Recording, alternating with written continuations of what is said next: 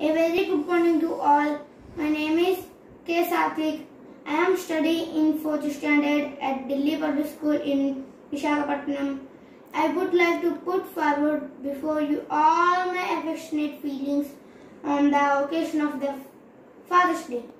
My fa- mm, my father is my superhero and touchbearer who can lay a smooth path of my life without any hurdles. The responsibility of my father that he accomplishes are a yardstick to measure his unconditional love for me. Unconditional love. My father's love is as purified as my mother milk. My father is love a rainbow for me to have different. My father love is as deep ocean, deep as ocean. My father is chocolate when I am crying. My father is stick when I am wrongly doing.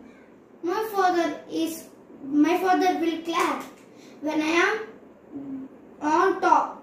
My father, you have given me the best thing in my life. You, your time, your care, your love.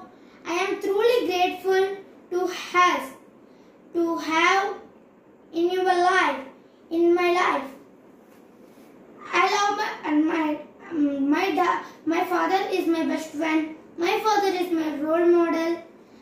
Um, I love my father because he all he too loves his father so much.